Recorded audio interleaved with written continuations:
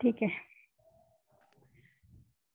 Okay next आपण plantation crop बघतोय. Pest of coconut and their management okay तर जे अरिका नट अरिका नट वगैरे आहेत ना कॅशू नट वगैरे हे जे बरेच क्रॉप आहेत तुम्हाला प्लांटेशन क्रॉप तर त्यातलं तुम्हाला कोकोनट इम्पॉर्टंट आहे.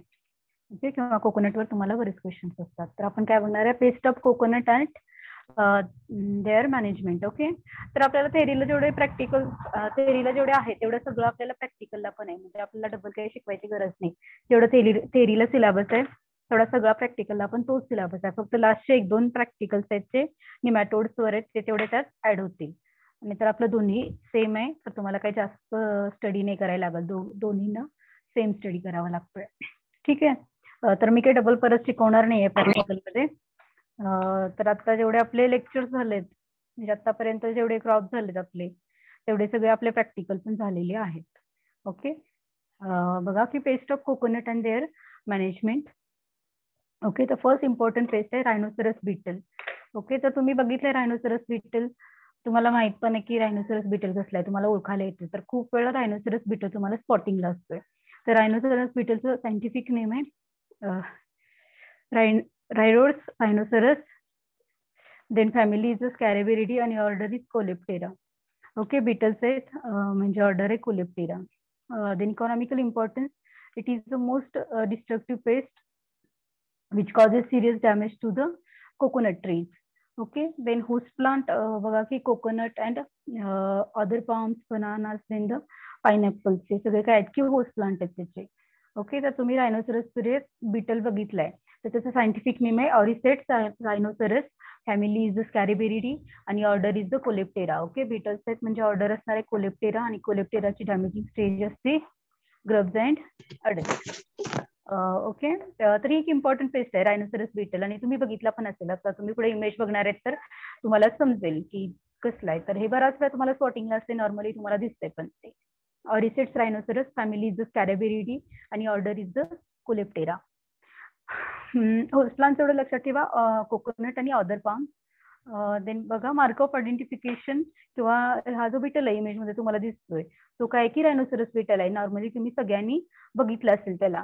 ओके त्या बिटल्सला ओके तर बघा की त्या बिटलला रायनोसरस नाव का पडले पहिलं? रायनोसरस रायनोसरस म्हणजे मराठीत? रायनोसरस म्हणजे मराठीत काय? कोणाला येते रायनोसरस येते का कुणाला रायनोसरस मीन्स काय? ओके रायनोसरस म्हणजे काय आपण म्हणजे पान गेंडा बघतोय का? गेंडा असतो बघा त्यासारखा. ओके तर आपण पुढे बघू त्याला रायनोसरस नाव का पडले? पण नॉर्मली रायनोसरस एक अॅनिमल आहे आणि तो म्हणजे पानगेंडा किंवा गेंडा म्हटलं तरी चालेल. ओके तर बघा की मार्क ऑफ आयडेंटिफिकेशन काय की हे जे तुम्हाला इमेज दिसते ती कसली स्टेज आहे? अडल्ट स्टेज आहे. ओके आणि हेच तुम्हाला स्पॉटिंगला असणार आहे. तर तुम्हाला पर्टिक्युलरली ओळखायला आलं पाहिजे हा काय की बरेच डिटेल्स असतात. ओके? तर हा आपल्याला तुम्हाला ओळखायला आलं पाहिजे रायनोसरस बिटल ओके? फर्स्टली बघा. Adults is south beetle thirty five to fifty m m in a length जे अडल्ट असतात ते असे तुम्ही व्हेरी म्हणजे मजबूत असतात ते. स्टाउट मीन्स मजबूत असतात टणक असतात. जर तुम्ही त्यांना कधी हात लावला असेल तर तुम्हाला ते ऑब्झर्व होईल. They are the very stout beetles stout म्हणजे बीटल्स दे आर द थोडे मजबूत असतात कठीण असतात किंवा. then shiny and black above and reddish brown hairy ventrally okay बघा adult life from more than two hundred days under the favourable condition जे adult असतात ते ना लाईव्ह करू शकतात more than two hundred days in a favourable condition जर favourable condition असलं तर ते दोनशे दिवसापेक्षा जास्त जगू शकतात. ओके तसं जर तुम्ही ऑब्झर्व करत असाल प्रत्येक पेजची लाईफ सायकल जास्तीत जास्त ती चाळीस दिवसांपर्यंत असते. आतापर्यंत जर तुम्ही बघत असाल त्यांचा प्युपल पिरियड लार्वल पिरियड हा खूप कमी असतोय.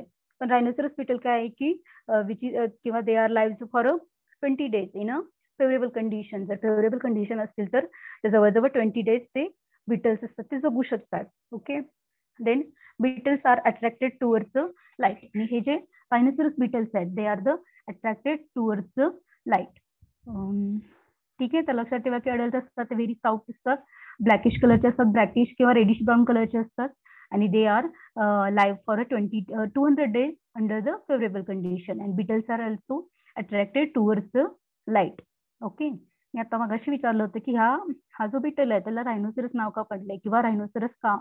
रायनोसरस मीन्स काही गेंडा. जर तुम्ही गेंडाचं बघितलं असेल तुम्ही गेंडा, जर तुम्ही तुम्ही बघितला नसेल तर तुम्ही हे जाऊन इमेज म्हणजे नॉर्मल जो गेंडा तो बघा. तर तुम, त्याला तुम्हाला असं ऑब्झर्व एक हॉर्न असते okay on the face of the beetle has a pointed horn and the the name is a rhinoceros beetle okay तर पुढे इमेज मध्ये बघा की फेस आहे. फेस वरती आहे की एक हॉर्न आहे. हॉर्न हॉर्न म्हणजे? हॉर्न म्हणजे शिंग. शिंग हॉर्न म्हणजे शिंग. जसं आपण पान गेंडा बघतो बघा तर त्याला पण शिंग असतंय. ओके? तर रायनो गेंड्यालाच काय म्हणतात की रायनोसरस आणि त्याच्यासारखं त्याचं हे फेस दिसतंय. किंवा त्याला त्याच्या फेसवरती काय आहे की they they having the pointed horn and hence the name is rhinoceros beetle okay? त्याला एक पॉइंटेड हॉर्न आहे. म्हणजे एक शिंग आहे त्याला फेसवरती तर त्यासाठी त्याला नाव काय पडले rhinoceros beetle okay the cephalic horn is longer in males than the female आणि मेल्समध्ये काय असते की जे मेल्स मेल्समध्ये असते त्यांच्यामध्ये काय असते की सेपॅनिकल सेपॅनिकल म्हणजे डोक्यावरती जे हॉर्न आहे म्हणजे डोक्यावरती जे शिंगासारखं जे दिसते तुम्हाला ते horn they are the longer in males as compare to the females okay तर लक्षात ठेवा की याला रायनोसरस नाव का पडले तर याचं सायंटिफिक नेम आहे ऑरिसेट रायनोसरस देन ऑर्डर आहे Coleoptera.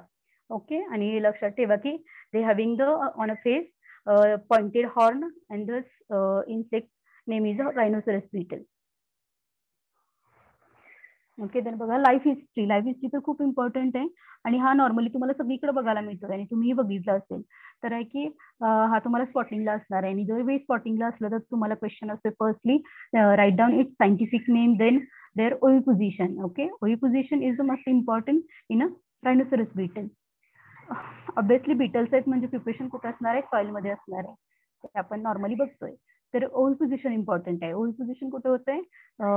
Oviposition means to lay the egg laid in decaying organic matter on a manure pits or a compost heap at the depth of the five to fifteen centimetre okay तर बघा की ओल position कुठं होतंय? Oviposition कुठं होतंय? Decaying organic matter जे organic matters आहेत कुजलेले जे ऑर्गॅनिक मॅटर्स आहेत त्याच्यामध्ये किंवा मॅन्युअर पीट्स म्हणजे मॅन्युअर्स म्हणजे माहिती आहे खतं त्याच्यामध्ये होतंय. किंवा कंपोस्ट शीप किंवा कंपोस्टचे जे बीज असतात त्याच्यामध्ये काय होतंय की रायनोसरस बीटलचं ओल पोझिशन होतंय. Okay at the depth of the five to fifteen centimetre okay तर डेप्थ सांगितली five to fifteen centimetre then coleoptera order आहे म्हणजे चारही स्टेज असणार आहेत eggs larva pupa and adult बघा larva larval period is a four to five month then pupation in a beetle set म्हणजे सॉइलमध्ये होणार आहे. प्युपल पिरियड किती आहे? Twenty to sixty days and life cycle is completed in two ten to twelve month and seasonal observation is a best active in a monsoon season this is a life history of the rhinoceros beetle important is a oviposition ओई position बघा कुठं होत आहे ओई position म्हणजे कुठं अंडी घालते ही पेस्ट कुठं अंडी घालते? Decaying organic matter or in a manure pits or also in a compost heap एवढं तरी लक्षात ठेवा. जर तुम्हाला डेप्थ लक्षात ठेवायची असेल तर किती डेप्थ पर्यंत? Five to fifteen centimetre depth पर्यंत. पण ओई पोझिशन इम्पॉर्टंट आहे. बऱ्याच वेळा रायनोसरस बिटल तुम्हाला असणारच आहे स्पॉटिंगला असतो. ओके तर हे काय आहे की लाईफ सायकल आहे. जसं तुम्हाला फर्स्टली दिसतील की एग्ज आहेत ते ट्वेल्व डेजचे आहेत. नंतरच्या तिन्ही स्टेजेस आहेत. फर्स्ट इन्स्टार लार्वा देन आहे बघा सेकंड इन्स्टार लार्वा आणि थर्ड इन्स्टार लार्वा लार्वा म्हणजेच ते ग्रब ओके तर ह्या तिन्ही तर यांनी थोडंसं म्हणजे आपण स्टेजेस काय बघतोय की एक लार्वा प्युपा आणि अडल्ट या चार स्टेजेस बघतोय. पण त्याच्या आधी काय असते की लार्वा मॅच्युअर व्हायच्या आधी काय असते की व्हेरी स्टेजेस असतात. जसं की first instar then second instar and third instar okay तर हे प्रत्येक जे तिन्ही स्टार आहे त्या प्रत्येक त्याचे लाईफ सायकलमध्ये डेज दिलेत. ओके फर्स्टली बघा ते जे एग्ज आहेत ते ट्वेल्व टू नाही ट्वेल्व डेज आहेत. Then first instar larva in nineteen days then second instar larva in twenty one days then thirty two days in third instar larva then काय होतं की आपलं प्रिपरेशन होत आहे ओके म्हणजे तुम्ही म्हणू शकता की फर्स्ट इन्स्टार गर्भ आहे ते ग्रब आहे ते काय की इनमॅच्युअर लार्वा आहे. ओके त्या सगळ्या इनमॅच्युअर लार्वा आहेत. आणि थर्ड इन्स्टार लार्वा जी तयार होते किंवा थर्ड इन्स्टार लार्वा लार्वा किंवा ग्रब्स आहेत ते काय की तुमचं मॅच्युअर लार्वा आहे. त्याच्यानंतर काय होणार आहे? प्रिपरेशन होणार आहे. त्याच्यानंतर अडल्ट होणार आहे which is in a ninety five days okay ह्या सगळ्या जे फर्स्ट इन्स्टार आहे सेकंड इन्स्टार आहे किंवा जे थर्ड इन्स्टार आहे ते तिन्हीच आहेत की तिन्ही लार्वल स्टेज आहेत. म्हणजे त्या कशा आहेत की तुम्हाला दिसत असेल इमेजमध्ये बघा की ते छोटे आहेत म्हणजे इमॅच्युअर आहेत. देन त्याच्यापेक्षा थोडे मोठे होतात आणि त्याच्यानंतर मॅच्युअर लार्वा हो, तयार होते. त्या तिचं थर्ड इन्स्टार लार्वा इमेजमध्ये बघा जर तुम्हाला ओळखत असेल तर बघा तुम्हाला आता मी एवढ्या पेस्ट बघताय किंवा एवढे क्रॉप बघितले तुम्हाला एग्स प्युपा आणि अडल्ट हे सगळे ओळखायला आले पाहिजे ओके तर फर्स्ट इमेजमध्ये जे दिसतंय बघा व्हाईट कलरचं जे राऊंड शेपमध्ये दिसतंय ते काय आहे की eggs of of rhinoceros beetle तिथे काय लिहिले eggs in manure pits manure pits किंवा कंपोस्ट हिप किंवा डिकेनिंग ऑर्गॅनिक मॅटरमध्ये काय असतात की रायनोसरस बीटलचे एग्ज असतात. ओके देन तुम्ही झूम करून बघू शकताय की बघा की खालच्या जे तिन्ही स्टेजेस आहेत तीन इमेज दिसत आहेत बघा तुम्हाला. एका इमेजमध्ये तीन इन्सेक्ट दिसत आहेत तर ते तिन्ही इन्सेक्ट किंवा तिन्ही स्टेजेस तुम्हाला ओळखायला पाहिजेत. ओके जे जे ब्लॅक कलरचं आहे ते कसलं स्टेज आहे? ओके ब्लॅक कलरचं ते अडल्ट स्टेज आहे. नॉर्मली तुम्हाला दिसतंय डोळ्याला. हा डोळ्याला दिसते की अडल्ट स्टेज आहे. त्याच्यानंतर जे ब्राऊन कलरमध्ये दिसतंय ते काय की प्युपल स्टेज आहे. आणि त्याच्या पलीकडे एक व्हाईट कलरचं दिसतंय ते काय की आपण बघणार आहे थोडं मोठं आणखी. तर ह्या तिन्ही इमेजमध्ये काय काय आहेत की एक्झेट लार्वा आहेत प्युप आहेत देन अडल्ट आहेत. ओके तर लक्षात ठेवा की रायनोसरस बीटल ओई पोझिशन कुठं होतंय? इंडिकेनिंग ऑर्गॅनिक मॅटर किंवा मॅन्युअर पीट्स किंवा मॅन्युअर मॅन्युअर पीट्स किंवा कंपोस्ट शीट्समध्ये त्याचं ओई पोझिशन होत आहे इम्पॉर्टंट आहे लक्षात ठेवा. देन बघा की हे रायनोसरस बीटल्स आहेत. तर इमेजमध्ये तुम्हाला दिसत असेल किंवा तुम्हाला प्रॅक्टिकलला जे वायवाला वगैरे विचारतात त्याला रायनोसरस नाव का पडले? रायनोसरस म्हणजे काय की इन माउथ फेस माउथवर किंवा फेसवरती त्यांना काय असते की they having the pointed horn horn म्हणजे शिंगासारखा एक भाग तुम्हाला दिसतोय त्याच्यावरती त्याच्या फेसवरती म्हणूनच त्याला नाव काय पडलंय? रायनोसरस बघा the firstly nature of damage बघू आपण. तर बघा की यामध्ये काय असतं की आपण कोलेप्टेराची डॅमेजिंग स्टेज म्हणतो आपण ग्रब्स अँड अडल्ट पण in rhinoceros beetle the only beetles are the harmful okay हे लक्षात ठेवा. तर जे बिटल्स आहेत. म्हणजे जे आता तुम्ही अडल्ट स्टेज बघितली तर तीच काय आहे की हार्मोफुल आहे.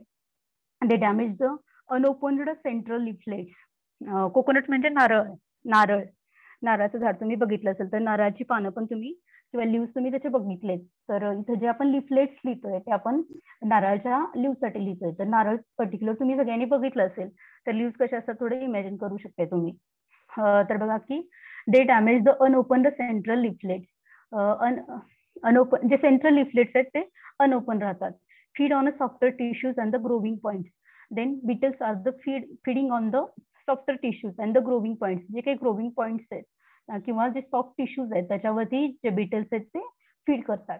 As a result the growth of tree arrested which is ultimately wither and the dies त्याच्यामुळे काय होते की अल्टिमेटली जे लिफलेट्स आहेत म्हणजे नारळाची जी लिव्ज आहेत पानं आहेत ती ते काय होतात की विदर्ज होतात आणि डाईज होतात. म्हणजे फाटतात आणि डाईज होतात. मरतात किंवा डाईज होतात ओके देन बघा a series of holes on a central leaflet okay तर हे तुम्हाला विचारतात जसं बरेच विचारतात बघा लिप माइन लिप मायनर आपण बघितलंय बघा. लिप मायनरमध्ये काय असतंय? झिगझॅग टनेल्स असतात तर तुम्हाला ते ओळखायला असते. तसंच हे तुम्हाला एक ओळखायला असते. टिपिकल वी शेप्ड क्लिपिंग्स किंवा जे मी ब्ल्यू कलरमध्ये लिहिले ते सिमटम्स असतात आणि त्याच्यावरून तुम्हाला ती पेस्ट ओळखायची आहे.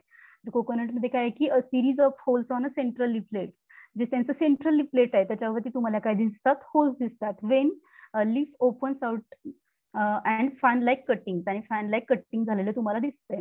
Then typical V shaped clipping cuts on a mature leave in partly damage crown okay तर हे दोन सिमटम्स आहेत ते लक्षात ठेवा. तर मेनली काय आहे की जे सेंट्रल प्लेट असते कोकोनटचं तर त्याच्या काय होते की तुम्हाला होल्स पडलेले दिसतात. किंवा हे बऱ्याच वेळा विचारलं जाते टिपिकल व्ही शेप्ड क्लिपिंग कुठल्या पेस्टमध्ये असतात? टिपिकल व्ही शेप्ड क्लिपिंग तुम्हाला रायनोसरस बीटल मुळे दिसतात. ओके इमेजमध्ये आपण पुढे बघणार आहेत. Then damage palms often become infected by the fungal rots आणि हे जे डॅमेज झालेले आहेत लिपलेट्स तर त्याच्यामध्ये काय होतंय परत? फंगल रॉट होते the damage cause by the beetles is a more serious in a young trees आणि हे जे डॅमेज केलेलं आहे ते young ट्रीजमध्ये they are the very serious pest in a young trees then important आहे rhinoceros beetle enhance the bud rot disease in a coconut caused due to fungus Phytophthora palmivora okay तर हे लक्षात ठेवा. बघा की रायनोसरस बिटलमुळे काय होतंय की फंगल डिसीज होते किंवा फंगल डिसीज होतोय that is the bud rot disease okay आणि फंगसचं नाव तुम्हाला नाव काही इम्पॉर्टंट नाहीये.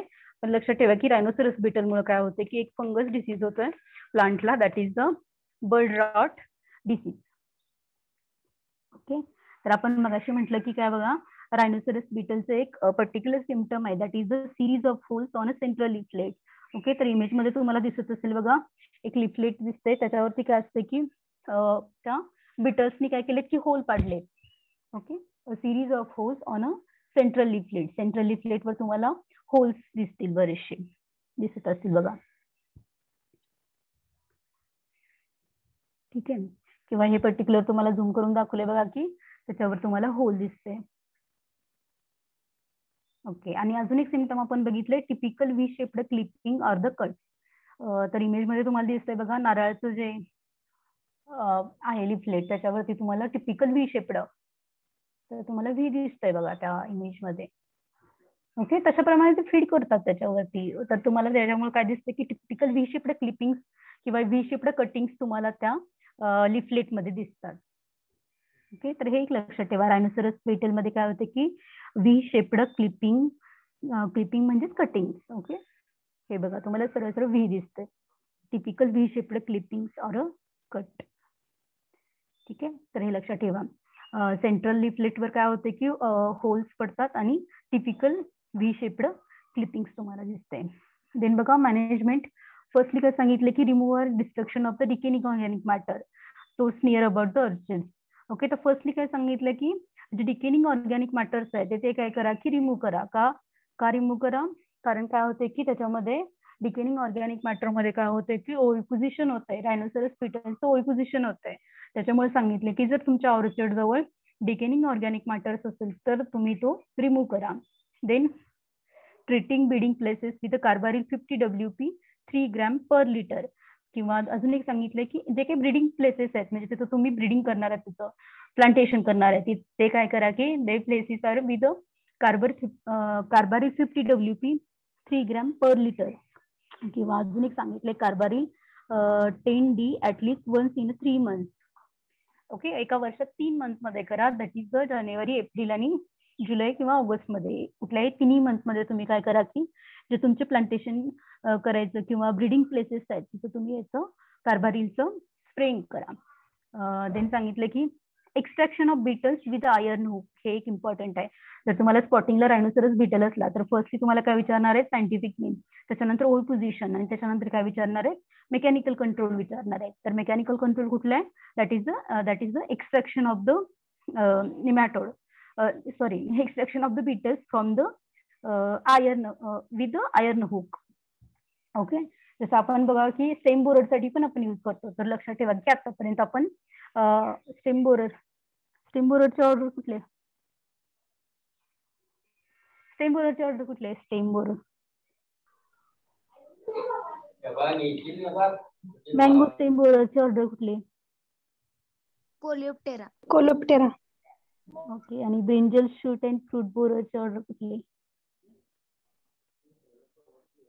Brinjal shoot and fruit borer lepidoptera lepidoptera ठीक आहे. तर बघा की लक्षात ठेवा की आतापर्यंत मँगोस्टेम बोरर आणि रायनोसरस बीटेला तुम्ही काय केलंय की यूज ऑफ आयर्न हुक तर तुम्हाला हा क्वेश्चन नक्की असणार आहे. आता असं सांगते प्रॅक्टिकल आहे तुम्हाला असणार आहे. रायनोसरस बीटल असणार आहे त्याचं ओल्ड पोझिशन असणार आहे आणि त्याच्यानंतर काय असणार आहे की त्याचं एक मेकॅनिकल कंट्रोल आहे.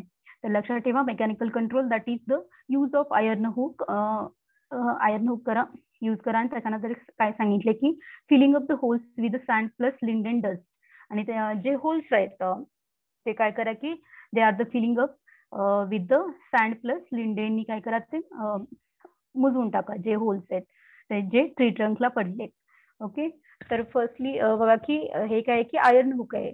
Iron rods or hook use for the hooking the rhinoceros beetle okay म्हणजे नॉर्मली काय की एक फक्त सळी आहे आणि सळीला काय की ते असं चौकोनात दाखवलंय बघा तिथं फक्त असं बेंड झालंय आणि त्याला एक हुक आहे. आणि त्या हुकने आपण काय करणार आहे की जे अडल्ट स्टेजेस आहेत ते काय करणार आहेत आपण?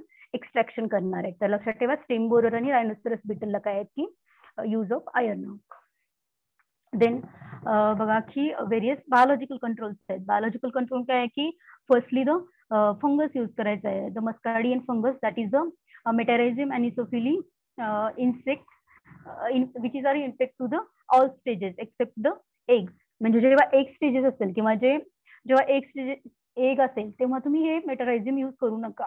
पण एकच्या पुढच्या ज्या स्टेजेस आहेत एगला एक नंतर लार्वा प्युपा आणि अडल्ट हे जेव्हा असतील या स्टेजेस आणि त्या स्टेजेसमध्ये तुम्ही काय करा की एक फंगस तुम्ही यूज करू शकता that is the metarhizium anisopliae then the bacteria एक बॅक्टेरिया तुम्हाला सांगितलंय that is pseudomonas species which is attack the third instar grub okay म्हणजे मग आपण लाईफ सायकल बघितली बघा. जो तिथं थर्ड इन स्टारमध्ये जो ग्रब होता ग्रब म्हणजे काय की लार्वल स्टेज आहे. आणि थर्ड इन स्टार ग्रब जेव्हा असेल तेव्हा तुम्ही काय करा की सुडोमोनस स्पेसिस याची तुम्ही यांनी काय करा की ते इंजेक्ट करा. आणि ते काय करतं की मग थर्ड इन स्टार ग्रबला काय करतं की त्याच्यावर अटॅक करते किंवा त्याला फीड करते. त्याच्यावर.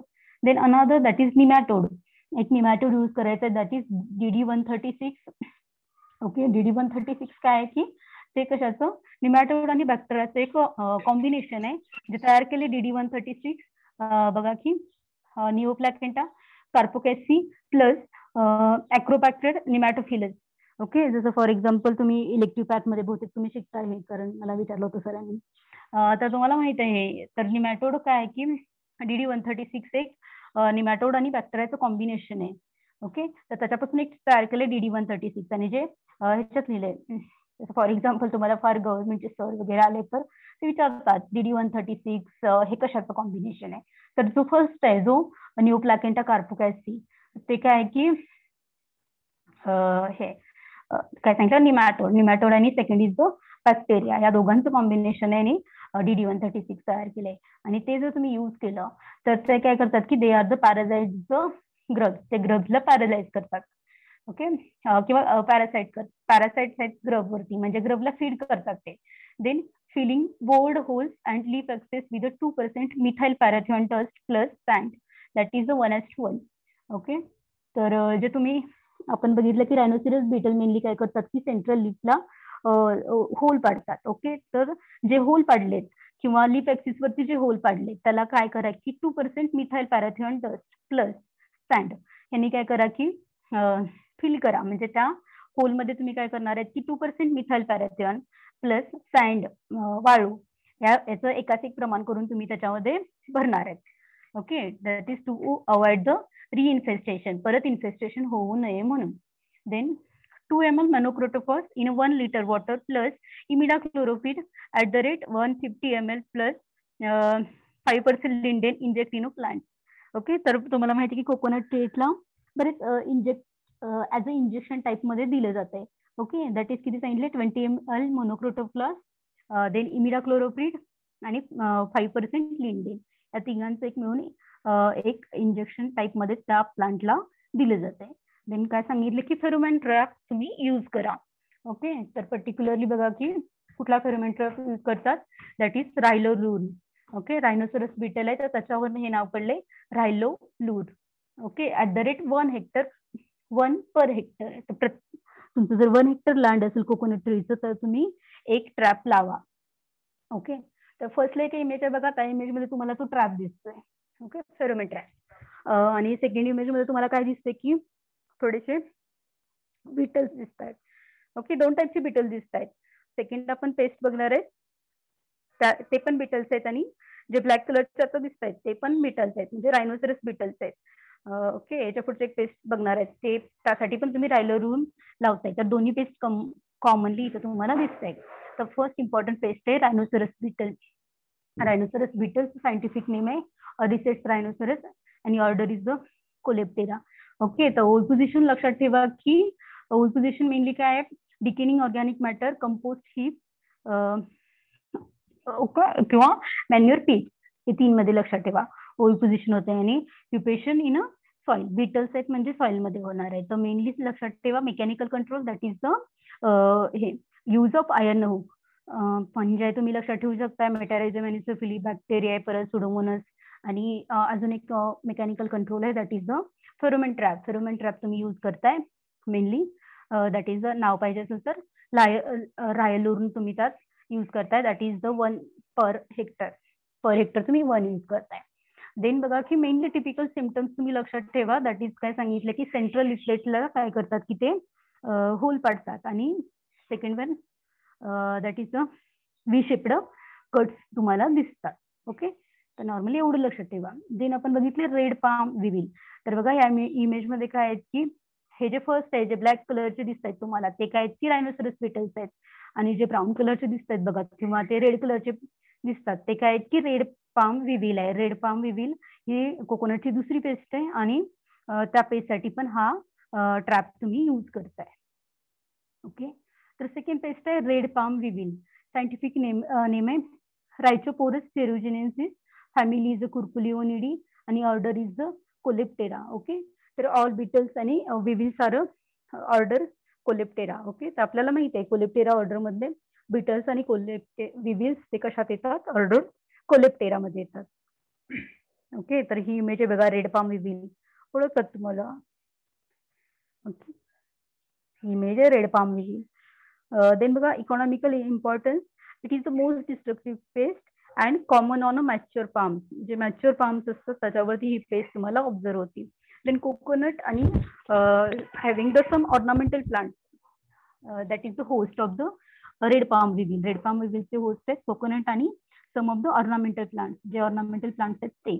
ओके तर इमेज बघा तुम्हाला रायनोस रेड पाम विविल पण तुम्हाला स्पॉटिंगला असते. मार्क ऑफ आयडेंटिफिकेशन फर्स्टली बघा की the adult is a brown weevil जे विविल्स असतात. तुम्हाला मेनली बिटल्स आणि विविल्स मधला डिफरन्स कळतोय का बघा? They having the thirty five M M long thirty five M M long असतात. It has a six dark spots आणि देअर थोरॅक्स ओके हे एक लक्षात ठेवा. जर तुम्हाला इमेज दिसत असेल तर तुम्ही त्याच्यावरचे स्पॉट जे थोरॅक्स आहे त्याचं थोरॅक्सचा हेड थोरॅक्स आणि अबडोमेन हे पार्ट मी शिकलाय. जर त्या विविल आहे त्या विविलचं जे थोरॅक्स आहे थोरॅक्स वरती काय आहे की they having the six dark spots on thorax okay तर तुम्ही काउंट करू शकता की त्या थोरॅक्स वरती काय की सिक्स स्पॉट्स असतात ओके हे लक्षात ठेवा red palm विविलमध्ये in the males of the long snout आणि ट्रप्ट ऑफ हेअर्स आणि जे मेल्स असतात त्यांची सोंड स्नोट म्हणजे सोंडेसारखा तुम्हाला पार्ट दिसतं बघा. जर फेस त्याचं जर हे बघा त्याचं हेड बघा आणि हेड वरती बघा की जसं तुम्हाला रायनोसरस बीटलमध्ये काय दिसत होतं? हॉर्न दिसत होतं. हॉर्न म्हणजे शिंगासारखा भाग दिसत होता वरती आलेला. ओके तसं जर रेड पॅनविलमध्ये काय असते की त्या इन्सेक्टमध्ये हे असते स्नाउट स्नाउट म्हणजे सोंडेसारखा पार्ट दिसते तिथे जसं जसं हत्तीला असते जसं सोंड असतं. तसे त्या टाईपमध्ये बघा की तुम्ही त्याचं हेड बघा. मग तुम्हाला समोर दिसते की असं बाहेर आलेला पार्ट ओके? तर males having the long snout आणि has a tuft top hairs आणि तिथं काय असते की टप टॉप फेअर्स म्हणजे uh, खूप सारे हेअर्स uh, जसं फुलांचा गुच्छ असतं किंवा गुच्छमध्ये हेअर्स तुम्हाला ऑब्झर्व होतात. ओके? तर लक्षात ठेवा रेड पॉम विविलमध्ये काय आहे की दे हॅविंग द ब्राऊन साय ब्राऊन कलर विविल आणि they having the on a thorax having the six dark spots on their thorax okay? हे लक्षात ठेवा. आणि हॅविंग द स्नाउट म्हणजे सोंडेसारखा भाग. देन बघा लाईफ हिस्ट्री लाईफ हिस्ट्रीमध्ये काय आहे की eggs in soft tissues at the base of the sheath किंवा cut of wounds on a trunk okay तर मेनली ओरिपोजिशन कुठं होते की दोन साईटवर होते. दोन साईटवर कुठे होते? In soft soft tissues at the base of the sheath base of the शीटच्या सॉफ्ट टिश्यूवरती किंवा सेकंडली काय होते की cut of wounds on a trunk जर तुम्ही कोकोनट ट्री तुम्ही खोड बघितलं असेल, तर ते ट्रंक म्हणजे खोड. म्हणजे खोड असते ते खूप मोठं असते आणि त्याच्या म्हणजे नारळाचं झाड तुम्ही बघितलं तर तुम्हाला नॉर्मली समजत असेल. तर बघा की जे खोड असते त्याच्यावरती काही जर कट झाले असतील उंड म्हणजे तसं शब्दशा आपण अर्थ घेतला तर जखम झाल्यासारखं. पण उंडवर जसे कट्स असतील कट्स ऑफ उंड म्हणजे थोडासा कट झालेला भाग असेल तर त्याच्यावरती त्याच्यामध्ये पण काय होते की ओळी होते ओके तर हे पोझिशन लक्षात ठेवा. Then larval period that is twenty four to sixty one days and pupation in cocoons of fibrous material okay तर रेड पाम विविलमध्ये इम्पॉर्टंट आहे. तुम्हाला विचारलं जाते बऱ्याच वेळा. प्युपेशन कुठं होतंय? प्युपेशन कुठं होतंय? In a cocoons of fibrous material जे काय फायबरस मटेरियल आहे पुढे आपण इमेजमध्ये बघूया परत. तर इथं फक्त लक्षात ठेवा की जे प्युपेशन आहे प्युपेशन कुठं होतंय? In cocoons of fibrous material fibrous मटेरियल्समध्ये होतंय प्युपेशन यांचं. Then pupal period eighteen to thirty four days and life cycle is completed fifteen to fifty to ninety days then pest activities throughout the year पूर्ण इयरमध्ये तुम्हाला ही paste observe होती ठीक आहे? तर काय की रेड पाम विविंग ओई पोझिशन आणि प्रिपरेशन लक्षात ठेवा. Oviposition on a soft tissues at the base of the sheath किंवा cut of wounds on a trunk खोडावरती जे म्हणजे जे नारळाच्या झाडाच्या खोड आहेत त्याच्यावरती काय? कट झालेले कट असले किंवा जखमे तर जखम म्हणण्यापेक्षा तुम्ही काय म्हणा की जर त्याच्यावर कट्स पडले असतील किंवा असं मेकॅनिकल इंजुरी इंजुरी झाली असेल त्याच्यावरती किंवा कट्स पडले असतील त्याच्यावरती तर त्याच्यामध्ये सुद्धा काय होते की ओई पोझिशन होते. देन प्युपेशन फायबरस मटेरियलमध्ये होते. ओके तर ऑर्डर आहे कोलेप्टेरा कोलेप्टेरा म्हणजे कंप्लीट मेटामॉर्फोसिस आहे. तर व्हेरियस स्टेजेस तुम्हाला बघणार बघायला मिळणार आहेत. जसं फर्स्ट आहे की एग्ज आहेत सेकंड इज द लार्वा आहे थर्ड इज द प्युपा आणि fourth is the adult stage okay आणि प्युपाच्या खाली जे दाखवलंय बघा थोडस पण. आपण बघणार आहे मोठ्या इमेजमध्ये आणखी. पण बघा की हे काय की फायबरस मटेरियल आहे. तिथं आपण काय म्हणले की रेड पाम विविलचं प्युपेशन कुठं होतं? In a fibrous in cocoons of fibrous material जर जे दिसतंय ना इमेजच्या खाली जे ब्राऊन कलरचं ते काय की फायबरस मटेरियल आहे. तसं ते कपून्स तयार केले नेक्स्ट आपण बघणार आहे. ओके तर आता लक्षात ठेवा की they having the four stages that is egg larva pupa and the adult okay तर बघा की हे रेड पाम विविल आहे. तर इमेजमध्ये तुम्हाला दिसेल दिसत असेल बघा की न नाव देता तुम्हाला सगळ्या स्टेजेस ओळखायला यायला हव्या आहेत बघा तुम्हाला ओळखायला येत आहेत का? ठीक आहे? तर फर्स्टली बघा की जे वरती आहे सगळ्यात स्पेरिकल शेपचे ते काय आहेत की एग्ज आहेत. त्याच्यानंतर तुम्हाला बघा की अडल्ट स्टेज तर तुम्हाला आता नॉर्मली सगळ्यांना ओळखायला येते अडल्ट स्टेज काय आहे की ते ब्राऊन कलरचं दिसतंय बघा आणि थोरॅक्स वरती काय असणार आहेत? तुम्ही ओळखणार आहेत की थोरॅक्स वरती सिक्स स्पॉट्स असणार आहेत. ओके तर नॉर्मली बघा की तुम्हाला दिसतंय अडल्ट स्टेज देन त्याच्यानंतर बघा की त्याच्यानंतर खाली काय आहे की जी व्हाईट कलरची दिसते अळी तुम्हाला प्रत्येकाला कळती. अळी म्हणजे काय की ती लार्वा आहे. ओके तर ती लार्वा आहे. आणि पिपल स्टेज तुम्हाला इथं फॉर एक्झाम्पल या मध्ये तुम्हाला बऱ्यापैकी दिसती बघा पिपल स्टेज पिपल स्टेज म्हणजे काय की लास्ट आता पिपल नंतर काय होणार आहे की त्याच्यानंतर लगेच अडल्ट स्टेज येणार आहे. ओके तर डिस्कलरेशनमध्ये तुम्हाला दिसते बघा पण तसा पण सगळा इन्सेक्ट तयार झालाय. ओके सगळा इन्सेक्ट तयार झालाय फक्त त्याच्यावरती काय काय तयार झालंय की त्याच्यावर स्किन तयार झालेली नाही. म्हणजे जसं की थोरॅक्स नाही म्हणजे सगळं तयार झालंय फक्त त्याच्यावर कलर आलेला नाही. कलर आलेला नाही म्हणजे त्याच्यावर काय झालेलं नाही स्किन झालेली नाही. म्हणजे जवळजवळ पूर्ण इन्सेक्ट तयार होताना पिपल स्टेजमध्ये तो पूर्ण तयार होते. फक्त अडल्ट स्टेजेस मध्ये काय होणार आहे की त्याच्यावरती त्याची स्किन येणार आहे आणि त्याचे पार्ट म्हणजे वेल डेव्हलप्ड होणार आहे. ठीक आहे? तर तुम्हाला ह्या सगळ्या स्टेजेस ओळखायला येत आहेत. ओके तर बघा परत की इमेजमध्ये एग्स कुठले आहेत लार्वा कुठले आहेत अडल्ट कुठले आहेत आणि प्युपा कुठले आहेत.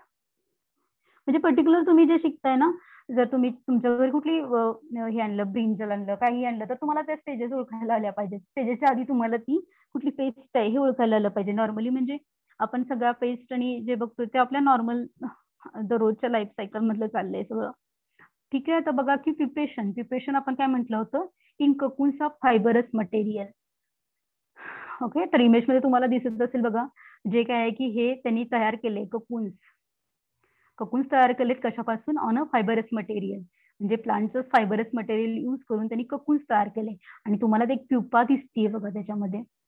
ओके म्हणजे हे जे ककुन्स आहेत ते काय होतात की जेव्हा ती ही जी हे स्टेज आहे जेव्हा प्रिपेशनला जाते तेव्हा ते ककुन्समध्ये जाऊन बसते. आणि जेव्हा त्यांची लाईफ म्हणजे पिपल स्टेज कंप्लीट होती त्याच्यानंतर ते काय करतात ते ककुन्स ते ब्रेक करतात आणि बाहेर येतात. आणि त्याच्यानंतर काय कोण बाहेर येणार आहे? त्याच्यानंतर अडल्ट बाहेर येणार आहेत. ओके जसं फॉर एक्झाम्पल इथं बघा रेड पाम बेबी म्हणजे जेव्हा ह्या ककुन्समध्ये किंवा मध्ये काय होते की जेव्हा पिपल स्टेज जाईल तर समजा की फॉर एक्झाम्पल पिपल स्टेजचे जेवढा काही पिरियड आहे तेवढा बी पिरियड जर कंप्लीट झाला तर त्याच्यानंतर तुम्हाला पुढची स्टेज दिसणार आहे that is the adult okay तर ह्या स्टेजमध्ये तुम्हाला दिसतंय बघा. रेड पाम विविल बाहेर येताना दिसतंय. तुम्ही जर झूम करून बघाल तर दिसेल तुम्हाला. ओके तर हे is old import oviposition preparation important आहे म्हणजे तुम्ही आधीचे पेपर बघाल तर तुम्हाला खूप वेळा प्रिपरेशन विचारलंय प्रिपरेशन कुठं होते on a fibrous material cocoon in a cocoon fibrous material then बघा nature of damage all the stages of the pest are the passes on palm trees okay तर हे लक्षात ठेवा. असं कुठली पेस्ट आहे की ज्याच्या सगळ्या स्टेजेस त्या क्रॉप वरतीच जातात? तर कुठली स्टेज आहे? दॅट म्हणजे अशा सगळ्या स्टेजेस आहेत. म्हणजे एग लार्वा प्युप आणि अडल्ट या चारही स्टेजेस या वरती जातात. जसं फॉर एक्झाम्पल आपण बघा टोमॅटोमध्ये बघितले टोमॅटोमध्ये काय की फर्स्टली आपले जे बोरर आहे बोरर कुठलं आहे हेलिकॉर पार्मिचराचं बोरर आहे बघा. त्याच्यामध्ये आपण काय बघितलंय बघा की जर जे लार्वा असतात त्या काय करतात की टोमॅटोवरती फीड करतात आत जातात फीड करतात. आणि त्याच्यानंतर त्या लार्वा काय करतात की दुसऱ्या प्लांटवरती वगैरे जातात. ठीक आहे? तर तसं नाहीये की त्याच्यावरती काय की सगळ्या स्टेजेस इथं काय की त्याच ट्रीवरती त्या घालवतात. म्हणजे एक एक इन्सेक्ट असेल तर त्याच्या सगळ्या स्टेजेस याच प्लांटवरती किंवा त्याच एका झाडावर तुम्हाला दिसून येतात. देन बघा की फोर्थली डॅमेजिंग स्टेज आहे that is grubs and adult तर फर्स्टली बघा grubs bore into trunk near the growing point and feed on a soft tissue okay जे ग्रब्स असतात they bore into trunk trunk म्हणजे काय? खोड. जे नारळ जे ट्रीचं जे म्हणजे हाईटला हाईट किंवा जे ट्री असतात त्यांच्या खोडाला काय म्हणतात? ट्रंक म्हणतात ओके तर बघा की ते ग्रब्स असतात ते काय करतात? बोर द ट्रंक खोडाला बोर करतात होल पडतात near the growing point and the feed on soft tissues आणि सॉफ्ट टिश्यूज वरती फीड करतात. Small holes occur in a crown from which chewed fibre comes out and brownie sap ooze out okay तर इथं बघा आपण इमेजमध्ये पुढे बघणार आहे. जे काही तुम्हाला होल्स पडतात जे काही ट्री ट्रंकवर होल तुम्हाला दिसतात ते काय त्याच्यामध्ये काय होते की which having the chewed fibres come out and brownish sap ooze out तर तुम्हाला चिवड फायबर्स म्हणजे जे काही ग्रब्सनी काय म्हणायचं खाल्लेलं आहे आणि चघळलेलं चिवड फायबर्स जे काही चघळलेलं मटेरियल आहे आणि ते तुम्हाला दिसते किंवा ब्राउनिश सॅप ऊज आउट किंवा असं ब्राऊन कलरचं लिक्विड तुम्हाला बाहेर आलेलं दिसतंय त्या बोअर मधनं किंवा जे ट्रंकला होल पडलेले आहेत त्याच्यामध्ये तुम्हाला मेनली काय दिसतंय की chewed fibre and the brownish sap ooze out from the bore then बघा की मेनली ही जी पेस्ट आहे रेड पाम विविंग त्याच्यामुळे तुम्हाला काय काय कुठले कुठले सिमटम्स दिसतात that is longitudinal splitting of the leaf bases then presence of cocoons किंवा अडल्ट बेबीज दिसतात आणि अजून काय दिसते तुम्हाला चिवड फायबर म्हणजे चघळलेलं जे काही मटेरियल आहे ते किंवा leaf axis at the base of the palm एवढं सगळं तुम्हाला या पेस्टमुळे दिसतंय.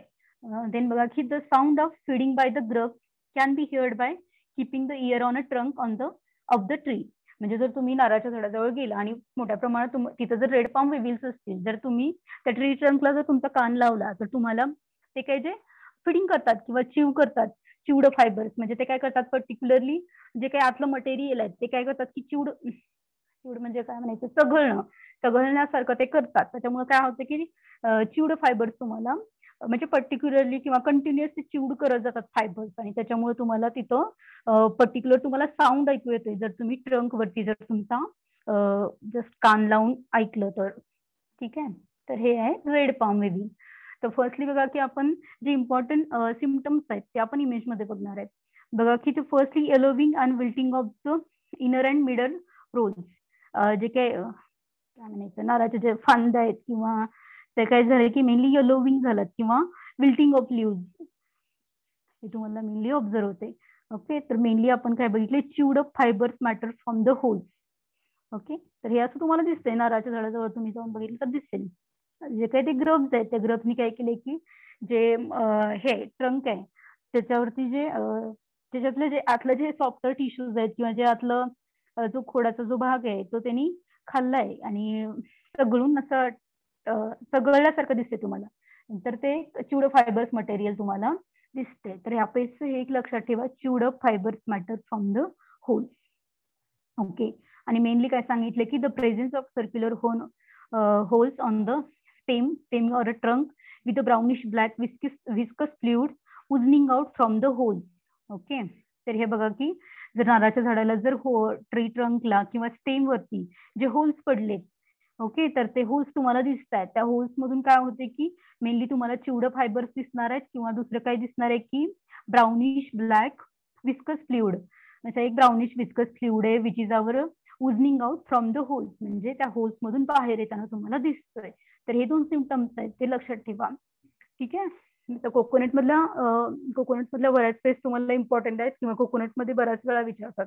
रायनोसरसमध्ये लक्षात ठेवा दोन सिमटम्स सांगितलेत. आणि ह्यामध्ये पण तुम्हाला सांगितलेत की रेड पाम वेव्हिलमध्ये मेनली चिवड फायबर्स तुम्हाला बघायला मिळत आहे आणि viscous fluid oozing out from the bore holes okay तर हे लक्षात ठेवा सिमटम्स देन तुम्हाला अजून काय सांगितले की longitudinal splitting of the bases and the presence of cocoons okay तर मेनली तुम्हाला असं ककून्स तुम्हाला दिसतात.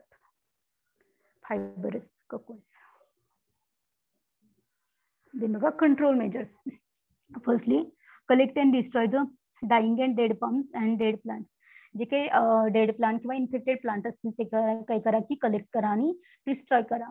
देन सेकंड काय सांगितलं avoid the wound mechanical injury and the stripping of leaves okay तर काय आपण बघितले ओई पोझिशन ओई पोझिशन रेड पाम विविलचं कुठं होतंय? On cuts of wounds okay तर काय सांगितले की ते मेनली तुम्ही काय करा की ओन्स किंवा कुठल्याही मेकॅनिकल इंजुरी तुम्ही अवॉइड करा. ओके कारण काय होते की त्याच्यामध्ये त्याचं ही पेस्ट त्याच्यामध्ये अंडी घालतात. त्याच्यामुळे तुम्ही त्याच्यावरती मेकॅनिकल इंजुरी असतात त्या तुम्ही अवॉइड करा. देन काय सांगितले? Painting of the cut wounds with lime or coal tar oil okay ज्या कट्समध्ये काय होते की ओई पोझिशन होतं या प्लांटचं म्हणून तुम्ही पेस्टचं म्हणून तुम्ही काय करा की पेंट करून टाका. का टार ऑइल किंवा कोरटार ऑइलनी किंवा लाईमनी तुम्ही त्याला हे करा. पेंट करून टाका. त्याच्यामुळे मग ओई पोझिशन किंवा त्या इन्सेक्टला कट्स दिसणारच नाही की फॉर द ओई पोझिशनसाठी. Then avoid the damage to the root and stem during the cultural operation various तुम्ही जेव्हा कल्चरल ऑपरेशन करताय तेव्हा रूट्सला आणि किंवा स्टेमला कुठल्याही प्रकारची तुम्ही मेकॅनिकल इंजुरी नका करू. Then remove of the rhinoceros beetle from the hole using a arrow head rod आणि जे काही रायनोसरस बिटल्स असतील त्या ट्रीवरती तर ते तुम्ही रिमूव्ह करून टाका. देन व्हेरियस बायोलॉजिकल कंट्रोल सांगितले. इयरविंग तुम्ही यूज करा. एक इन्सेक्ट येतो. किंवा हा एक इम्पॉर्टंट आहे बघा. रूट रूट फिडिंग करा. Root feeding with monocrotophos ten M L तर हे लक्षात ठेवा. नारळाच्या नारळामध्ये मेनली केली जाते रूट फिडिंग रूट फिडिंग म्हणजे काय? की जे रूट्स आहेत नारळाचे म्हणजे मोठ्या ट्रीचे ते काय करतात की ते काढ म्हणजे प्लांट असतंय त्या प्लांटला काय करतात की ते खड्डा काढतात. आणि जिथे तुम्हाला नारळाच्या मुळं दिसतात रूट दिसतात त्याला काय तुम्ही अप्लाय करणार आहे?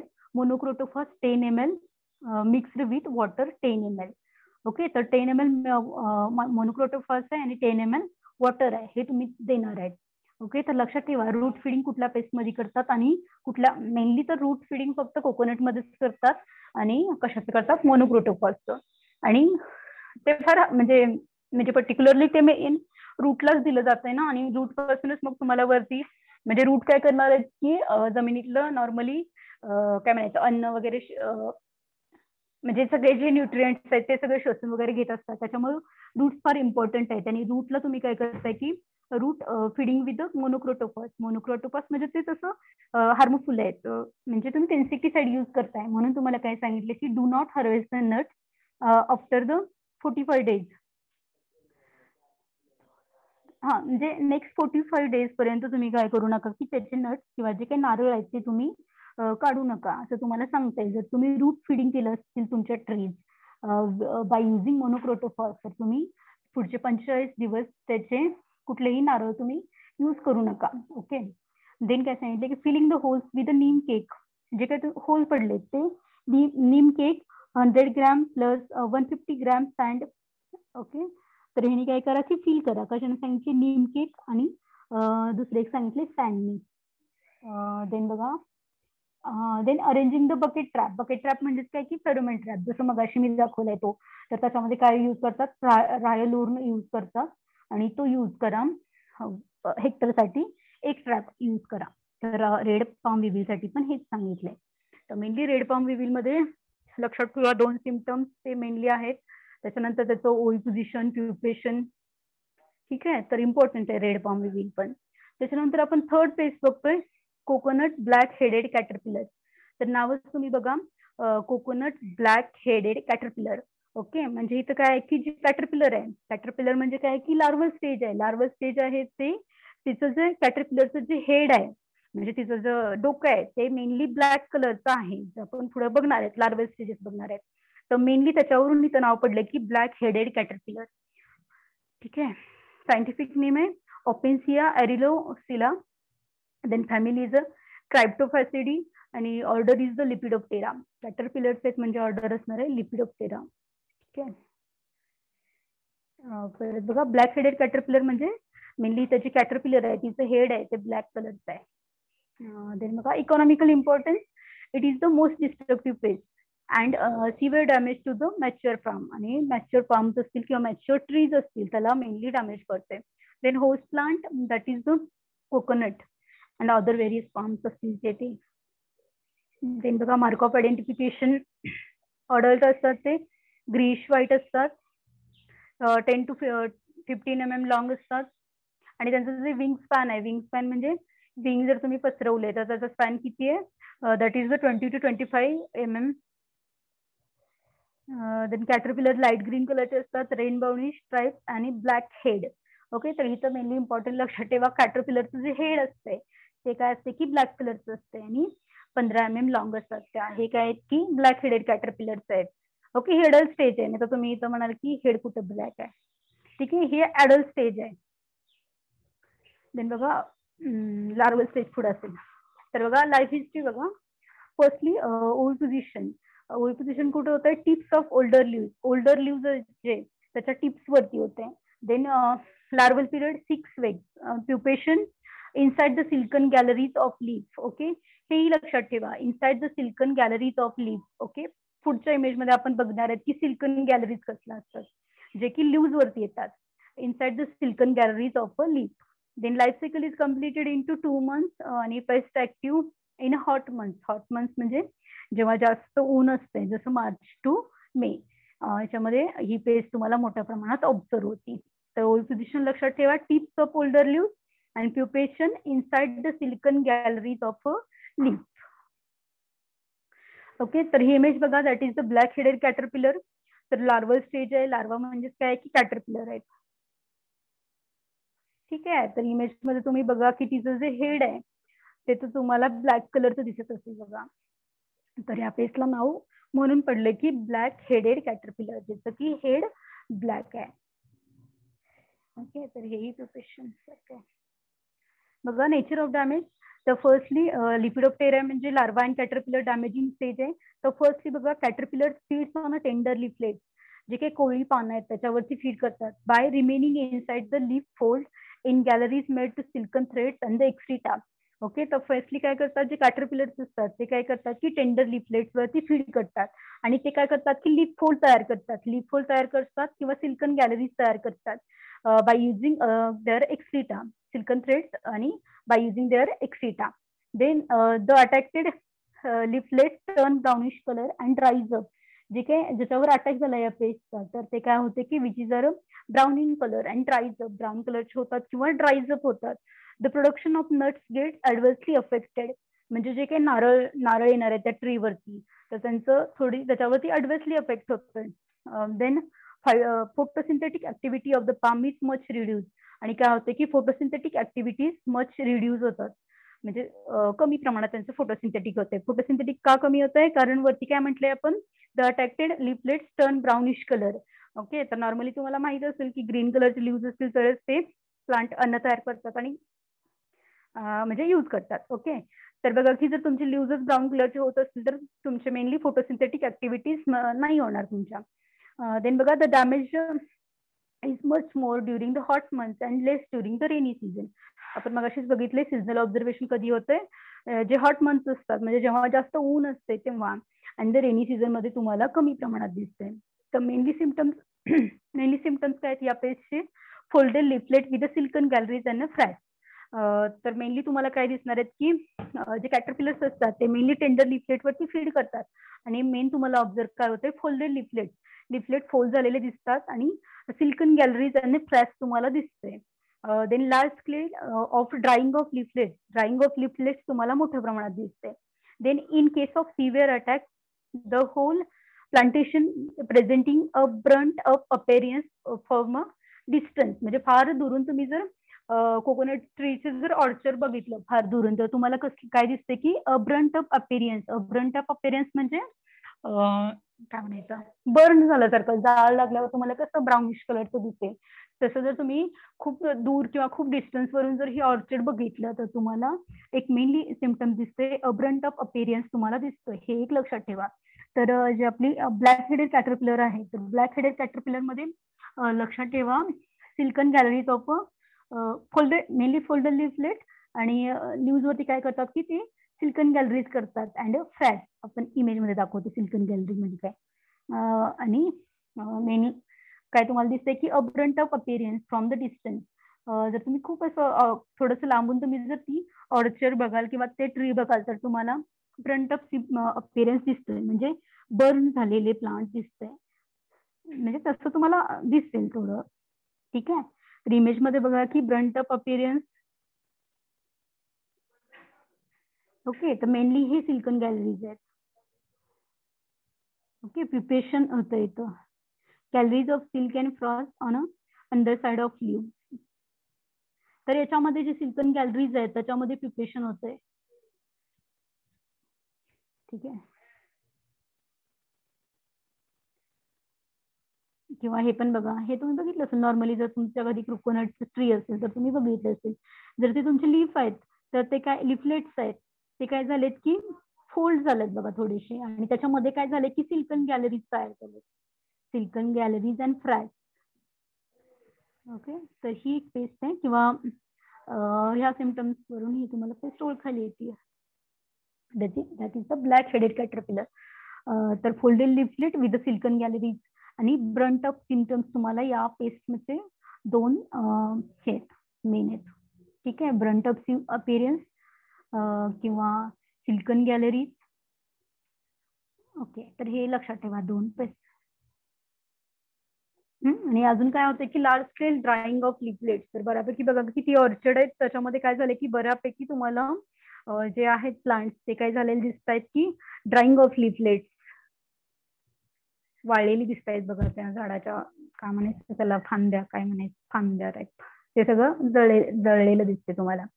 ठीक आहे? देन बघा control measures due to hidden nature of the caterpillar and the height of the plant chemical control measure or often inadequate म्हणजे मेनली काय झालं की जे तुमचे कोकोनट ट्रीज आहेत ते मेनली काय आहेत की उंच आहेत खूप उंच आहेत. आणि मेनली ज्या कॅटरपिलर्स असतात त्यांचं नेचर काय असतं हायडन नेचर असते ठीक आहे? हायडन नेचर आणि उंच हाईटला खूप असल्यामुळे तुम्हाला त्याच्यावरती केमिकल सप्लाय करणं तुम्हाला इझिली नाही इझिली इझी नाहीये तुम्हाला तेवढं. किंवा त्याच्यामुळे बरेचसे केमिकल कंट्रोल या पेस्टसाठी नाही आहेत तर बघा की जवळजवळ तुम्ही सगळ्या पेस्ट बघाल ना तर सगळ्या पेस्टला तुम्हाला केमिकल कंट्रोल फार कमी बघायला मिळतील. तर त्याच्यावर तुम्हाला बायोलॉजिकल किंवा मेकॅनिकल कंट्रोल तुम्ही जास्त बघाल. देन बघा spray zero point one percent carbaryl सांगितले किंवा monocrotophos zero point zero five percent okay दोन दोनच केमिकल सांगितले. Then clipping and destroying the infested portion जो काही क्लिपिंग झालेला किंवा डिस किंवा इन्फेक्टेड जो पोर्शन आहे तो काय करा? की डिस्ट्रॉय करा. Then BT that is the thuringiensis, cause cause the in a larva. तर काय करायचं? बीटीचं ऍप्लिकेशन uh, करा which is causes disease in larva जसं तुम्ही त्यात uh, इलेक्ट्रिक पॅथ जर तुम्हालाच आहे ना इलेक्ट्रिक पॅथ तर इलेक्ट्रिक पॅथमध्ये तुम्ही फार डिटेल्स शिकताय बघा. नाही तर तुम्ही म्हणत असाल की बीटी कसं यूज करायचं लार्वीसाठी तर तिथं खूप डिटेल आहे. कारण मला विचारलं होतं सरांनी. ना तर तुम्ही बघितलं असेल त्यात. ते नॉर्मली कसं करतात? जसं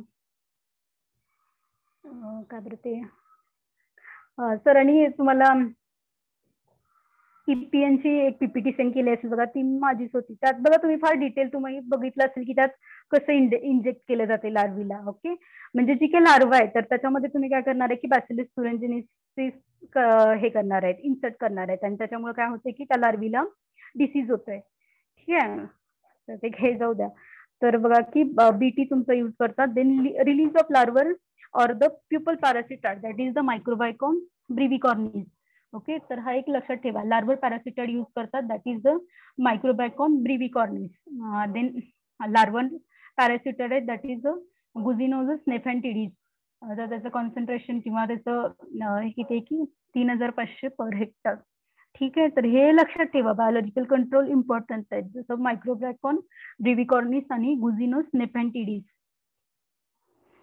देर बघा कोकोनट इरिडोफाईड माईट आतापर्यंत आपण जे माईट बघितले ते फक्त माईट होते किंवा रेड स्पायडर माईट हे सगळे माईट आपण बघितले पण आपण कधी इरिडोफाईड माईट नाही बघितलं. तर त्याचं थोडं वेगळं आहे. सायंटिफिक नेम आहे erio eriophyid guerreronis then family is a आणि ऑर्डर किंवा क्लास काय की अकॅरिना तर फर्स्टली डॅमेजिंग स्टेज असणार आहे माईटची निम्प आणि अडल्ट तर nymph and adult pale in colour with elongated body and worm like appearance okay तर बघा तर मेनली हे पेल कलरचे असतात. बॉडी इलॉंगेटेड वर्म्स असतात ते. ठीक आहे? तर इमेजमध्ये तुम्ही बघू शकता. व्हाईट काय की नॉन इन्सेक्ट फेस्ट आहे डॅमेजिंग स्टेज आहे निम्पनी अडल्ट तर फर्स्टली शेडिंग ऑफ नट्स तर तुम्हाला मेनली जर माईट झालं असेल इरिडोफाईड माईट झालं असेल तर काय आहे की शेडिंग ऑफ नट्स खाली जे काही नारळ आहेत ते खाली पडतात. Then oozing of the gummy secretion from the affected surface जे काही अफेक्टेड सरफेस आहे त्याच्यामधून काय होतं की गमी गमी सिक्रेशन बाहेर उज आउट होतं म्हणजे बाहेर पडलेलं. तुम्हाला दिसते किंवा reduce nut size nut size reduce झालेली दिसते आणि कोपरा कंटेंट कोपरा म्हणजे आतलं जे खोबरं आहे तर तुम्हाला नारळामधलं काय दिसते की त्याची नारळाची मेन फाईज आहे ती कमी झालेली दिसते किंवा आतलं जे खोबरं आहे ते तयार होत नाही. जर इरिडोफाईट माईटचा अटॅक झाला तर कोपरा म्हणजे खोबरं. Then malformed nuts with cracks and harden husk जर जे काय ज्याला जे ज्याला इरिडोफाईड माईट झालंय ते नट्स तुम्हाला कसे दिसतात? नट्स म्हणजे नारळ. त्याच्यावरती तुम्हाला क्रॅक्स दिसतील किंवा जे वरचं हस्क आहे हस्क म्हणजे काय म्हणायचं? नारळाचं जे केसर आहे केसर आहे त्याचे ते काय झालं की हार्ड झालेलं तुम्हाला दिसतंय. तर बघा की इमेजमध्ये तुम्हाला दिसत असेल. अशा बऱ्यापैकी तुम्ही खूप वेळा नारळ बघितले असतील. ओके तर बघा की malform nuts with cracks and harden husk husk म्हणजे वरचं जे केसर आहे ते. ओके तर ते मेनली तुम्हाला त्याच्यावरती क्रॅक्स दिसतात किंवा जे केसर आहे ते असं टणक झालेलं दिसते ठीक आहे? Then reduce the nut size and कोपरा कंटेंट जर इमेजमध्ये बघा की तुम्ही बरेच नट्स बघायला मिळतात की ज्याच्यावरती माईटचा अटॅक झालाय. माईट फक्त माईट नाहीये इरिडोफाईड माईट आहे. तर तुम्हाला नट साईज रिड्यूस झालेले दिसेल किंवा कोपरा कंटेंट म्हणजे आतलं जे खोबरं आहे ते तुम्हाला कमी झालेलं दिसेल. देन बघा control measure application of urea then super phosphate आणि uh, हे म्युरेट ऑफ पोटॅश एमओपी हे सगळं तुम्ही one point three K G urea then super phosphate two K G and the MOP three point five K G per palm per year हे सांगितले तुम्हाला. Then application of neem cake five K G and organic manure fifty K G per palm per इयरला सांगितले then intercrop सांगितले banana turmeric vegetables various vegetables लावू शकता तुम्ही. Then spraying of Azha azadirachtin five M L per litre on a fruit bunches then chemical control सांगितलेच various wettable sulphur आहे then प्रोपॅनाफॉल्स आहे methyl डिमेटॉन आणि ट्रायझोफॉल्स आहे ठीक आहे तर माईट काही इतके इम्पॉर्टंट नाही आहे तर लक्षात ठेवा फक्त इलिडोफाईड माईट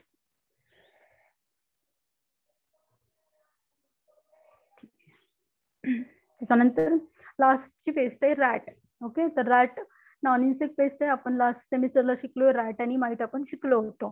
ठीक आहे? तर रॅटच्या स्पेसिस आहेत किंवा रॅटचं सायंटिफिक नेम आहे Rattus rattus family is the Muridae आणि order is the Rodentia okay तर व्हेरियस रॅट्स तुम्हाला माहिती आहेत. रॅट तुम्ही बघितलेत. त्याच्यानंतर बघा तर तुम्हाला तुम्ही असं म्हणाल की तुम्ही लास्ट सेमिस्टरला शिकलाय पण या प्रॅक्टिकलला पण तुम्हाला किंवा या एक्झामला पण तुम्हाला विचारतात. कारण कोकोनटमध्ये तुम्हाला रॅट पेस्ट आहे. तर रॅटच्या व्हेरियस जे स्पेसिस आहेत ते तुम्ही इंग्लिश करा. विथ देअर सायंटिफिक नेम हा क्वेश्चन असते तुम्हाला प्रॅक्टिकलला ठीक आहे? तर बघा house rat Rattus rattus rattus house mouse Mus musculus drain rat Rattus norvegicus field rat Bandicota Bengal means large bandicoot Bandicota indica okay last सेमिस्टरला आपण पाठ केले. या सेमिस्टरला पण रॅटच्या स्पेसिस पाठ करायच्या आहेत ठीक आहे? देन बघा nature of damage mainly rats काय करतात? रॅट काय आहेत की नॉन इन्सेक्ट पेस्ट तर mainly rats remain in the crowns of coconut म्हणजे कोकोनट ट्रीच्या वरच्या भागामध्ये रॅट्स राहतात. म्हणजे क्राऊन म्हणजे वरचा भाग एकदम. त्या भागामध्ये रॅट्स दिसतात तुम्हाला. Then feed on a nuts of all stages जे काही रॅट्स आहेत ते नट्सच्या ऑल स्टेजेस म्हणजे लहान नारळ नारळ आहेत ते स्मॉल नट्स असल्यापासून एकदम मॅच्युअर नट्स होईपर्यंत ऑल स्टेजेस म्हणजे ऑल स्टेजेस वरती रॅट फीड करतात ओके स्मॉल नारळापासून पूर्ण मोठा नारळ होईपर्यंत सगळे नारळ ते खातात. Then the making the host to the husk म्हणजे जे फर्स्ट म्हणजे वरचं जे नारळाचं केसर आहे त्याच्यावर त्याच्या मधून त्यांनी होल पाडतात then drinks the liquid sweet liquid okay म्हणजे नारळात जे पाणी असते ते काय करतात की ते ड्रिंक करतात. आतलं जे स्वीट नारळातलं पाणी ते पिऊन टाकतात. Then spoil nuts fall down in a large number आणि जे असे स्पॉइल नट्स आहेत they having the fall down in a large number large large नंबरमध्ये तुम्हाला नट्स फॉल डाऊन झालेले दिसतील. ओके तर हे नेचर ऑफ डॅमेज आहे. रॅटचं. तर लक्षात ठेवा रॅटचं तुम्हाला विचारतात. रॅट मेनली क्राऊन म्हणजे वरच्या वरती असतात coconut ट्रीच्या then feeding on all stages of nuts then they making the hole through the hers and drinks the sweet liquid from the nuts then spoiled nuts fall down in a large number ठीक आहे? These are the nature of damage of the rats then control measures आता तर control measures आपल्याला part झाले असतील. रॅटचे माहीत असेल तुम्हाला ओके? तर बघा की झिंक फॉस्फाईड तुम्ही युज करताय झिंक फॉस्फाईड वारफॅरिन ओके? हे काय की रोडंटीसाइड आहेत. रोडंटीसाइड म्हणजे the chemical which is control to the rat okay? तर हे सगळे माहीत आहेत आपल्याला झिंक फॉस्फाईड वारफॅरिन देन आपण ट्रॅपिंग करू शकतोय देन हंटिंग करू शकतोय देन फ्लडिंग द फील्ड फील्डला काय करा की फ्लड करा. मोठ्या प्रमाणात इरिगेशन करा. Then use of ultrasonic devices various ultrasonic devices तुम्ही यूज करताय किंवा करू शकताय. देन केमिकल कंट्रोल तुम्हाला काय सांगितलेत की सिंगल डोस किंवा acute poison that is zinc phosphate barium chloride आणि थॅलियम सल्फेट हे तुम्ही यूज करताय. ऍक्यूट ऍक्यूट पॉइझन म्हणजे काय? These are the highly toxic ठीक आहे? आणि अजून एक इम्पॉर्टंट लास्ट आहे बघा. It is use in ratio of two parts of zinc phosphate with ninety six parts of fruit grains food grains and the two parts of the sweet oil ठीक आहे? हे एक लक्षात ठेवा. हे काय की ऍक्यूट पॉइझन आहे. हे झालंय आपल्याला पाठीमागच्या सेमिस्टरला तर काय बघा की दोन पार्ट काय आहेत की झिंक फॉस्फाईड आहेत. नाईन्टी सिक्स पॉट पार्ट काय की फूड ग्रेन्स आहेत आणि two parts of sweet oil आहे. म्हणजे काय की हे सिम्पली तुम्ही उंदरांना किल करण्यासाठी कणकेचा गोळा करून ठेवताय ना ते आहे हे. ओके तर बघा की two parts of zinc phosphide दोन पार्ट झिंक फॉस्फाईड आहे ते फूड ग्रेन्स आहे म्हणजे तुमचं काहीतरी गव्हाचं पीठ असेल ते नाईन्टी सिक्स पर्सेंट आहे. आणि two parts of the sweet oil then fumigation तुम्ही करू शकता rat burrows that is Cyanogas fumigation and the phosphine gas fumigation सायनोगॅसमध्ये काय ते? कॅल्शियम सायनाइड आणि फर्स्ट पाईन गॅसमध्ये अल्युमिनियम फॉस्फाईड किंवा two tablets of the zero point five two tablets zero point five percent could be dropped in अ बरो जे काही त्यांनी बरोज केले असेल त्यात तुम्ही ठेवा. देन बायोलॉजिकल कंट्रोल काय की predator various predator that is snake आणि मुंगूस are a well known predator or rat हे शिकलोय आपण. रॅटवरती दोन प्रिडेटर्स आहेत. दॅट इज स्नेक आणि मुंगूस देन पॅरासाइट्स आहे that is salmonella species of virus can be used for rodent control but not recommended due to the health threat on a non target species okay तर एक व्हायरसच आहे. That is the salmonella species हा virus आहे. हा तुम्ही rat control करण्यासाठी use करू शकता पण due to the health threat to the non target species non target स्पेसिसला ते थोडं हार्मफुल आहे. म्हणून तुम्ही रिसेंटली नाही यूज करत. तर लक्षात ठेवा हे सगळं काय की बायोलॉजिकल कंट्रोल आहे. ठीक आहे? तर प्रिडेटर स्नेक आणि मुंगूस आहेत आणि पॅरासाइट साल्मोनिला स्पेसिस आहे. ठीक आहे? तर या सगळ्या एवढ्या पेस्ट होत्या. तर कोकोनटच्या पहिल्या तीन पेस्ट आहेत त्या इम्पॉर्टंट आहेत. ठीक आहे? तर फर्स्टली आपण कुठली बघितली? Rhinoceros beetle second one is the red palm weevil third is a black headed caterpillar fourth is a eriophyid mite आणि last one that is the rat ठीक आहे पण पहिला थ्री आहे. त्या थ्री आहे ते मोस्ट इम्पॉर्टंट आहे. त्याच्यावरती तुम्हाला बरेच क्वेश्चन्स असतात. कोकोनट वरती. जसं ओल पोझिशन प्युपेशन त्याच्यावरती तुम्हाला कोकोनटमध्ये खूप क्वेश्चन्स असतात. आणि स्पॉटिंगला पण हे सगळं असते रायनोसरस बिटल असते रेड पॉम विविल असते ठीक आहे?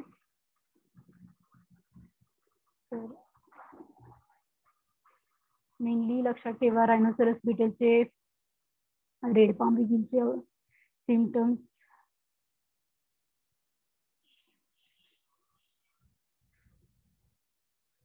ठीक आहे मी तुम्हाला करेल पीपीटी सेंड तुम्ही परत बघा. आणि जेवढं पहिला तीन बेस्ट आहेत त्या तुम्ही करा. त्या तिन्ही इम्पॉर्टंट आहेत. तसं सगळंच इम्पॉर्टंट आहे. जर जेवढं इम्पॉर्टंट तर फार क्विकली मध्ये बघू. तर बघा की रायनोसरस बीटल सायंटिफिक नेम आहे ऑरिसरस रायनोसरस आणि order is the Coleoptera okay damaging stage असणारे लार्वा आणि कॅटरपिलर तर मोस्टली तुम्हाला बऱ्याच वेळा विचारलं जातंय तर याला रायनोसरस नाव का पडलंय? ओके रायनोसरस नाव का पडलंय?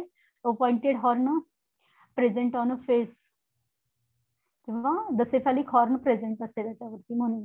आणि ओल पोझिशन लक्षात ठेवा डिकेनिंग ऑर्गॅनिक मॅटर रायनोसरसचं ओल पोझिशन कुठं होतंय? Decaying organic matter manure pits of the compost heap आणि प्रिपरेशन सॉइलमध्येच होणार आहे. त्याच्यानंतर आपण मेनली मेनली असं सिमटम्स काय आहेत की रायनोसरस मेनली सिमटम्स लक्षात ठेवा. Holes on a present on a holes series of holes on a central leaflet आणि टिपिकल व्ही शेप्ड कटिंग्स तुम्हाला ऑब्झर्व होतात. आणि रायनोसरस बिटल्समुळे काय होतंय की बर्ड रॉट डिसीज होतोय. जो की फंगल डिसीज आहे. Okay series of holes on a central leaflet आणि दुसरं एक होतंय की टिपिकल व्ही शेप्ड कटिंग्स तुम्हाला ऑब्झर्व होतात. ठीक आहे? रानेसर बिटलमध्ये ऍटलिस्ट एवढं लक्षात ठेवा. आणि अजून एक आहे की mechanical control use of iron hook एवढं तर लक्षात ठेवा रायनेसरसमध्ये ते रेड पाम विलमध्ये काय आहे की मेनली त्यांच्या थोरॅक्स वरती थोरॅक्स वरती काय असते की सिक्स स्पॉट असतात. ठीक आहे? त्याच्यानंतर हा ओळी पोझिशन लक्षात ठेवा.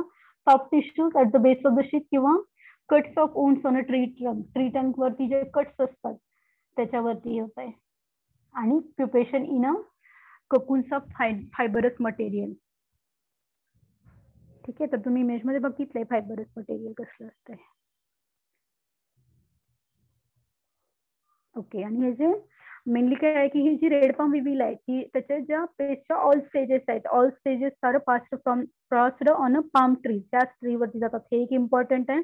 त्याच्यानंतर तुम्हाला चिवड फायबर्स दिसतंय.